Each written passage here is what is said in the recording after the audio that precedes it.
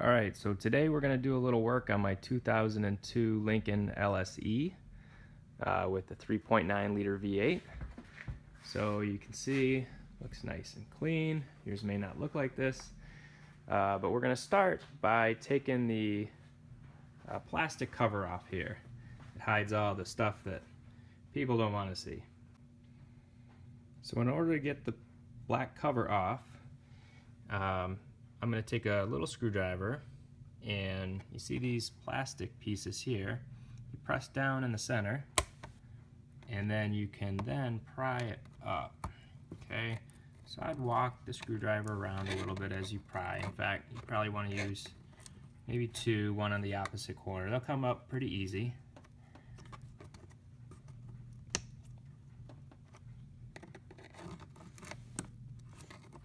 Okay, you want to be careful. You don't want to break these and have to buy new ones. See, there you go. It's got a little plastic thin washer that we can get rid of underneath. And do that for the other one as well. Okay, so I got the second one out, and now this third one here, this is just a rubber, a rubber piece that you just simply pull up to get out. And that should be enough to get this cover off. Okay, now you can see the guts. Okay, so now I'm going to start by removing the air filter um, kind of box here. Uh, and then this is your mass airflow sensor, and you can see all the way up to your throttle body. So this whole air kind of intake unit I'm going to take off. So I'm going to start basically by using my little screwdriver here. And the way you get these connectors off basically just push down. There's a little tab here that you push down and at the same time then you also slide it backwards. Okay, so since I have two hands, I'm going to pause here. Okay, so you can see that, you know, that's come out. So I'll slide that away from the mass airflow sensor. And I'm going to do the same with this one because I'm eventually going to take this off as well. You can see the little clip is here that you have to press down on. Okay, so I'll press down on that and then I'll slide it back. And while you're pressing with one small screwdriver here, you can also take maybe a bigger screwdriver here and put it in between and then twist a little bit and that'll kind of push it back enough for you to then take over. I'm also gonna uh, take off this uh, aviator band here that's holding the mass airflow sensor neck uh, onto the rest of it here. So since this one's usually pretty tricky, I'm going to kind of demonstrate this one. So you press, I got the little screwdriver here, I press it in on the left side, take this, and then I turn screwdriver a little bit, see it pops out. And then I can take my fingers, slide it the rest of the way out. Okay? Easy. So this aviator clamp, you could take it off with a, a flat blade screwdriver, or you could really take an 8 millimeter I got a quarter inch drive socket here uh, and then just go to town. Okay, now I'm gonna take off this air box here where the air cleaner is. So there's two, there's two clips right here. I'm gonna pull back on the tab, let it disengage, kind of wiggle the bottom so it comes unclipped, right? And now I have this whole thing up. So I did undid my aviator clip or loosened it. I didn't take it off all the way because then it's a little pain kind of re-threading it when you want to put it back on. So now I can kind of pull this out. Okay, wiggle it a little bit as you go. See, I've got this completely off. Be careful. Uh, you don't want to harm the mass airflow sensor. They're expensive and sensitive. Okay, so I set that over here. And now you can see, you can see this is where you get your air filter at. Okay, so this is really the right way to replace your air filter. You can basically do it by unclipping, unsnapping the top here, peeling it back, and then sliding one in. Uh, that's actually kind of how they designed it with this bottom that ends up hooking into the um, these tangs down here. Okay, so I had already replaced this a while ago. Not looking too bad, so I'm gonna kind of leave that in there for now. Uh, this is where you'd end if you replace this, there's a direction uh, of airflow uh, that you want to make sure that you follow. Uh, and then basically you put that in, you put this you know, back on right there like we showed. And then these things at the bottom, the tangs, you want to hook in and then snap the top back in. Once you do that, don't forget to plug back in your mass airflow sensor and that other one that we did. Okay, and then you tighten your band down there. And then you put your cover back on for your engine if you still have one. And that's how you do the uh, air cleaner change. So now I'm gonna go a little deeper here. Okay, so I've undone this bolt here. Okay, that was the eight millimeter. And now it's held on one other place down there, but there's nothing to turn. You just simply pull it up. It's a little plastic peg in a rubber grommet, so you just kind of pull it up, comes up, tilt it out. Okay, that's what that looks like. And there's your big empty area, because I'm going to need access to some of these areas in here, so that's why I took this out. Okay, so at this point I'm going to take some of these tubes off um, so I can start getting this piece out. This kind of gets in the way when you're doing a lot of work. You can work around it most times, but you know if you were uh, putting in a new thermostat, which would be in this housing, uh, you can remove it without removing some of this stuff, but it's just a lot easier and cleaner um, when you do it properly. And then also when you remove some of this stuff, you can do some other things like you can get in and maybe even uh, clean your throttle body, which we'll get into here in a little bit. So I'm to start by this hose right here. Uh, this one just pulls right off. So you can see, just pulls right off just like that. And this clip is kind of an interesting one. Uh, if you haven't dealt with this before, it's pretty easy. I'm going to take it off on this end because I'm going to be getting into the valve covers and some work I'm going to do later. So I'm going to clean it up over here. So I'm going to pinch, you see these like these grips one on each side. So you pinch those. That um, kind of unlocks it basically, and then you can just pop it right off. See, no problem. Um, then there's another one over here. So I'm gonna do the same thing here, pinch it, and then uh, pop it off. And this is a lot easier when you're not holding a camera, obviously. I'm gonna do that in a second. And then this one here, I'm gonna take this bolt off this is, uh, again, I'm going to use a quarter inch drive. This is an 11 mil millimeter uh, deep well socket. So, see, no problem. Even hand take off the nut there. It's got the attached washer. And basically when you take this thing off, you're going to lift up because that stud is uh, down below. Okay. And then also don't forget, there's another aviator clip over here. So I've already loosened that with a screwdriver, nice and loose. Okay, so I'm gonna uh, put the camera down here, undo this one, and then we can uh, start taking this thing off. Okay, so I decided to take it off uh, here instead of here, just because again, I'm gonna move this whole thing out of the way. Uh, less tubes dangling around in my way. So with that off, you see I took that off. Now I just gotta wiggle it off. Yeah, throttle body assembly here. Like that. Okay. And you can see now this whole air intake unit can be removed as one. And I'm starting to get a nice clean picture of what my engine actually looks like. See, I got the valve covers there, the throttle body, valve covers there, and now we're talking. Okay, so if you're doing like a spark plug change or checking the coil on plug, because instead of a distributor, they have the coil on plug uh, in these newer engines. So there's actually this access panel right here on the valve cover, which kind of makes it cool if that's what you're wanting to do. Uh, what I like doing at this point, because I'm going to be working on this car for another 10 years or so, uh, and these coil on plugs, once they start going, you're going to have one go, you know, every five or 10,000 miles, it seems. Uh, they're probably good for about 75,000 to 90,000 miles from based on my experience.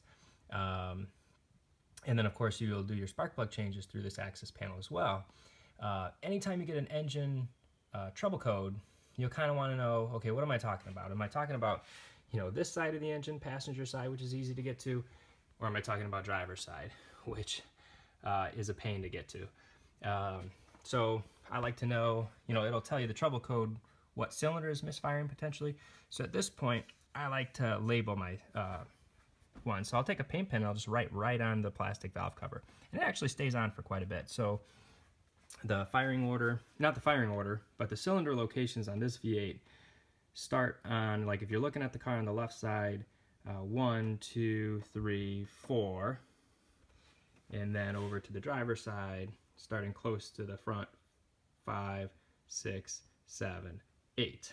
Okay, so firing order is different, but those are the cylinder numbers. So if you have like a cylinder seven misfire, then you're talking about driver side, second to the uh, most far back there.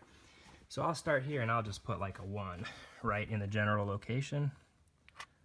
Okay, and that'll remind me that number one is always right there. And then I'll do two, three, four, uh, and then same on the other side. Kind of helpful trick. Okay, so most of these on the left side are pretty straightforward to get at, except this one in the back there. So you just kind of gotta work at getting the, um, gotta work at getting your your wrench down there. Okay, and there's this um, some foam kind of padding has a little give, so you need a short socket, not a long deep well, otherwise you can't get it in there. So once you get it on there, you can uh, you know break it loose. I would recommend coming down with your hand from underneath um, and getting it started. Then you can kind of get it going here. So um, you know once that one is significantly loose, maybe you can get it with your fingers the rest of the way. Gotta get your get your socket out of there. And then you can see you can come up with the rest of them. Um, they're pretty easy. They break loose uh, pretty well there. So you want to take all these out, and then you can get access to your spark plugs and your coils.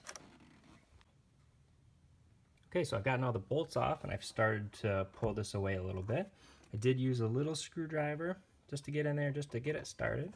Um, okay, so as you pull it out, you can see, you start to see your coil on plugs right in there. Okay, and okay, should be good. Had a little um, little RTV back there um, that was holding up, but really not sure why you'd have that since uh, this has its own press in place or uh, gasket here. Okay, so like before, we were using the short uh, 7 millimeter socket to get the access panel bolts off.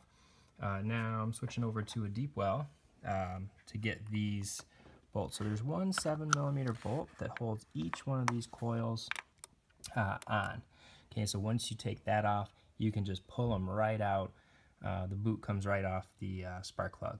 So these are actually the exact same bolts as the ones holding the access panel on. So good job Ford value engineering there. Make sure we use the, the same bolt. So I took the bolt off this one already. It was pretty easy to get at. So you see it just kind of pops out. Pull that out. That's what that piece looks like. Uh, and then you can see, maybe you can't, you can see down there, that's the spark plug uh, down there. Okay, so if you're doing your spark plugs, uh, you want to take those off. You probably want to take them off one at a time. That's what I would recommend uh, so that you can not get confused at where you're at. And then you want to get a nice deep spark plug um, socket uh, to go down there and take it out. Okay, so uh, a little trick here. Um, because of this plastic cover here, it's kind of hard to get a long extension in. So you got your tried and true 5 8 inch deep well um, special for removing spark plugs. So it's got a little grommet in there, helps hold that spark plug in there. Um, you know, after you're done uh, getting it off the, you know, unscrewing it from the threads, it'll hold it and allow you to pull it out. So what I do is I put two uh, smaller extensions together instead of one long extension. What that does is that allows me to get this in there and then I come back and I put my socket wrench on. Now these should be pretty easy to get off because hopefully the last time you did them or when you got the car, um, they had anti-seize on the spark plugs so they don't seize up in the hot engine. So it'd be pretty straightforward. And once you kind of feel that it's not really turning in the threads anymore, you can kind of pull it out, take the socket off. Okay, looks like I still have some to go.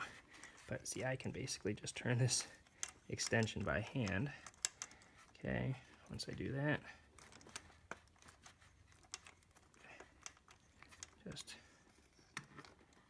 pull it right out, just like that.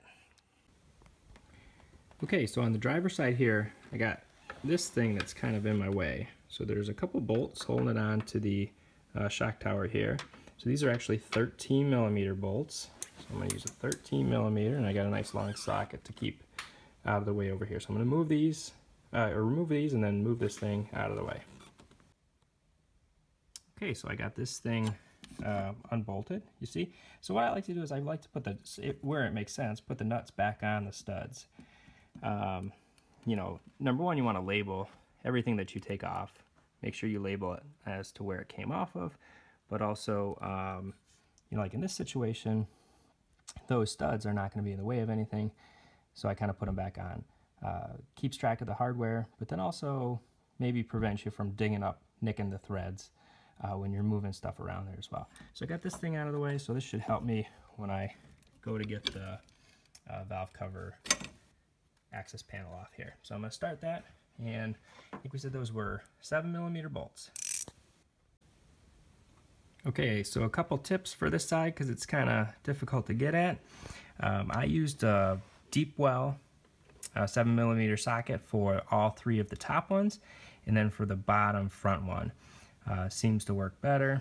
You're just able to spin the socket um, the socket wrench, you know, without getting into all the, the stuff close by the valve cover. So uh, this one in particular was difficult because oil dipstick was in the way.